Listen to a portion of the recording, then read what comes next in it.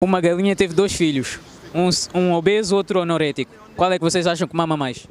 Mas que? Acha, qual é que achas que mama mais, o obeso ou o anorético?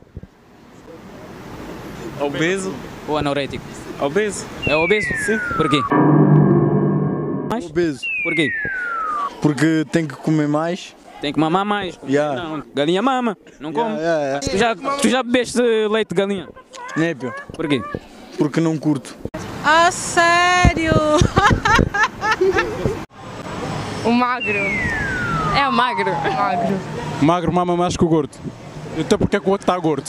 Então pronto, é o gordo. E é goloso o gajo. É. Anorético. Diz-me a tua teoria. Na. Tá gato, boy. Tá gato. Estás a sair de galinha para gato? Estamos a falar de galinha. Tá gato, não sei. As galinhas têm filhos? Por isso que só há uma galinha no mundo. Não mamam. Não mamam, mas tem filhos. Também não têm filhos, mas também não mamam. As galinhas têm o quê? Pintinhos, Os pintinhos são o quê da galinha? filhos. Sobrinhos.